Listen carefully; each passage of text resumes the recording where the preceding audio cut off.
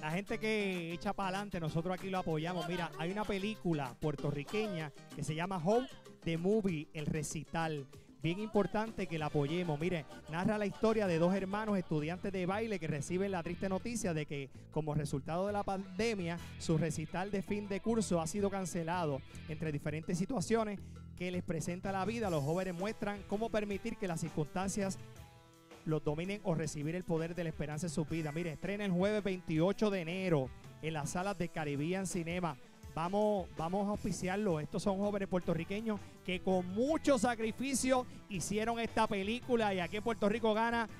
Los queremos ayudar. Vamos para adelante, muchachos. Vamos a ir el jueves 28, el estreno en las salas de Caribbean Cinema. Nosotros vamos a una pausa. Vengo rápido. Este es Puerto Rico gana. Vamos allá. No no no.